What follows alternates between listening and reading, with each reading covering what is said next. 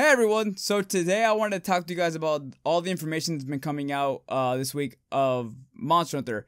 There's been a convention called Gamescom in Germany, and a lot of people have been recording uh, Monster Hunter gameplay. There's been a lot of uh, videos coming out, and I wanted to kind of round up all the information that I found really interesting that I saw that I was like, holy shit, this is fucking awesome. And my god, my glasses got a lot of tint on. I'm gonna take those off real quick. Um, there's been just a lot of information that's been coming out and I couldn't keep up with it all of it. I mean, I could, but it'd be like a video a day of just Monster information, and I didn't want to oversaturate our channel, so I've just been doing Monster live streams instead of uh, you know, just videos for a little bit. But I thought, fuck it, I'm just gonna get all the videos, all all the content that I found that interests me that I thought I wanted to talk to you guys about, um, and just put in one video, just all the stuff that interests me personally from the stuff that's been coming out, uh I just also want to point out that a lot of people have been a little confused over something that I found kind of funny. Uh, a lot of people are thinking that the new Monster Hunter uh, is much easier than the previous ones. It's I don't know if I don't again I've never I haven't played the game yet, so I don't know. But there has been information coming out that the developer straight up said that the demo that have been is being played in Gamescom is set on easy and the timer has been reduced from an hour to half an hour because there's so many people wanting to play the game that they wanted to make it go faster, have everything go, uh, you know, smoother. So it was set on easy, so monsters' HP is lower. That's why they're flinching so much. And a lot of YouTubers have been talking about this, and a lot of YouTubers have been saying that it looks way too easy, or other people have been just who actually played the game have said that it was set on easy, and the developers just told them straight up that it's gonna be a little hard in this when the actual game comes out. So don't worry for all of you that wants the game to be hard. I personally want the game to be harder too. Um, the actual game is supposedly going to be harder than the demo that they've been playing at Gamescom. Uh, before I even get started on that, just real quick, thank you to Jay for actually drawing this new avatar for me for uh, Monster Hunter. I love it. It's my favorite new drawing of hers that she's made for us, and I'm gonna be using that in all the videos from now on. But anyway, let's get going. First thing I want to talk to you guys about was the gl new glide mantle. So right now the total number of mantles that are out there that we know of is four. But the glide mantle is, well, pretty self-explanatory. It glides. Uh, if you jump somewhere high, you slowly glide down to wherever you wanted to go. It also makes it a little easier for you to mount monsters. Judging by the look of the mantle, I kind of like it. It's blue, it looks nice, and when you jump off of stuff, it's just like, wee, little glide there. Um, for those for those of you that don't know, the four mantles are again glide mantle. Then the first original one that they show, ever showed off was the ghillie mantle, which makes it so monsters cannot target you; they just don't see you. I think this is not confirmed as far as I can tell. Um, the ghillie mantle does not work if the monster is enraged. So if you put the ghillie mantle on, he's enraged, it might still hit you. Uh, the next one is the challenge mantle, which is the exact opposite of the ghillie mantle. When you put this on, the monster attacks you aggressively and will follow you, which, which is an easy way to get them into traps. The next one is my personal favorite, the Rocksteady Mantle. You get a resistance to damage, and you don't flinch. Uh, I kind of really like this one, for obvious, because, you know, I like the gun lance. Um, and it's one of those things that I'm really excited for just because I want to use it. Uh, uh, so right now, so far, we don't know if you earn this from quests or if you craft these mantles. We have no idea because they haven't brought any information out on them other than that. Uh, right now, the only thing we know about them is they are an item that could be that has a cooldown and that there are four of them. They are all pretty different in looks for the most part. You know, one's different colored, one's blue, one's green, one's kind of like a sparkly thing to get the monster's attention, and the other one looks like you're wearing straight up armor over your current armor. Yeah, that's basically it, other than the fact that I hope there's more. Uh, I, I predict that there probably is going to be more. I'm pretty sure they're going to bring out mantles that are resistant to, say, elemental attacks or something like that.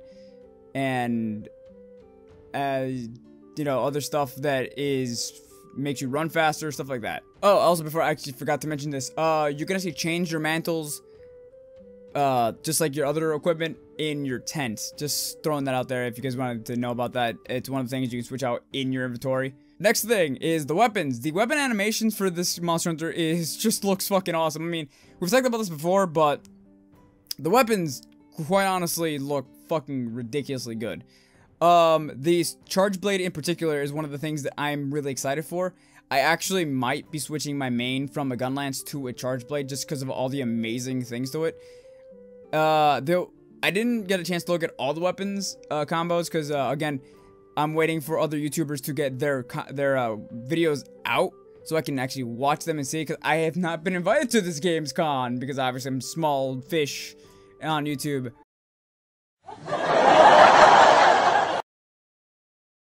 Um, and I will eventually be making tutorials for probably all the weapons. I'm going to try to get all the weapons out and give you guys an idea of how to use them uh, when the full game comes out or if an open demo comes out to PS4, Xbox, or PC, I will try my best to get those videos out there for you guys too. But all the animations, all the uh, technical stuff behind the weapons have been upgraded to an awesome degree. All the weapons that uh, have been in the games before are now much prettier, much more flashy. Especially again, again, especially the charge blade. It's got some crazy new animations. The gun lance in particular also has a few new things. They're small, but they're really cool. Um, I also really like the changes they made to the long blade or long sword, like katana, basically. Uh, it's got a really cool new counter move that I don't know if a lot of people have actually realized. It's kind of a uh, jump back, and if the monster hits you, you go into this really cool whoosh attack that you don't take any damage. but Essentially, you deal back the damage. Um, again, this has not been confirmed that you deal back damage. It just kind of looks that way. Um, and I've seen it in other YouTubers' videos. But all the animations look very clean, very crisp, very fluid. It doesn't look like you're cutting out frames or anything like that. And I'm really excited for the rest of the weapon, for me to get my hands on the weapons and kind of feel how it all is because I'm going to try pretty much every single one of them, including the hunting horn, which is Morin's favorite. I still haven't seen any footage of the hunting horn other than uh, one YouTuber who was playing around with it, uh, just for the sake of playing around with it. Uh, another thing I want to talk to you guys about is, holy shit, the Palicos, or the kitties. Oh my god, they have gotten some serious new stuff that I kind of found really interesting. One, there's a cat riding a raptor, or the Jagras. I believe you can call this Molo Jagras. Um, he's, he's just riding it, and I don't know what they did to the Jagras to make it want to help you, but it's kind of like a brain, I don't know, it looks like a brainwash. I it just, out of nowhere, one of the uh, videos on IGN, you just kind of see this Palico riding the Jagras, and it was so adorable. Um, even after the uh, Palico gets knocked off the Jagras, you still see the Jagras is on your side. Um, I think you, you kind of lose the Jagras though because I don't know how long the Jagras stays on your side, but you kind of stop seeing it in the video. After a while, the cat still follows you, but the Jagras is kind of gone. I'm gonna fuck around with this and try to see how long it lasts when I start playing the game. But yeah, it's just the Jagras gets controlled by the kitty, and I found that adorable. Also, later on, you can see the kitty also like I don't know if it's a cat ability or skill you can give your cat, but you see it getting a bunch of other cats and pinning down the Barroth, and it looks hilarious when you saw these little kitties holding down a giant monster and they're not getting flaked off like it's nothing because I, I don't know it's just one of the things I found hilarious and completely adorable. I love I love the cats and or palicos in Monster Hunter just because they're my one of my favorite things. Last thoughts though, uh, you're you now have a kitchen outside of your tent where your handler can actually cook food for you and give you and your team buffs. Uh, the food, I'm just gonna throw it out there. The food looks fucking amazing. It looks like Final Fantasy food. Like, it looks yummy as fuck. And I'm happy about this because that means you can actually just get a buff while you're out and about instead of going back to town. I don't know if they'll change this when the full game releases, but it does look pretty damn good. Also, uh, they confirmed that you can actually get multiple, uh, not multiple quests, but it, it's confirmed that you can get uh, different quests while you're out in the mission. I don't know if this will change again if you are out, uh, and uh, when the game fully releases, I don't know if this will change. I don't know if they'll just keep the quest giver being able to be out there with you. I don't know, but I like the fact that you can just beat a mission and hopefully go back to the tent and get another mission, just go back out there with your friends instead of going back to town and redoing the whole selecting quest thing. if I found if I didn't report anything that you guys found interesting, let me know in the comments. I will be happy to talk about it later on, and I'll also give you guys a shout out for you know, kind of just helping me out. I'll you know in the con I'll let them know in the video. but anyway, that's all the stuff I found interesting this week. If you guys want to see more, subscribe to our channel for more. If you like this video, please give it a thumbs up. If you didn't like it, give a thumbs down. It always helps me out to know what your opinion is on my videos. Uh, thanks for watching, guys. Bye.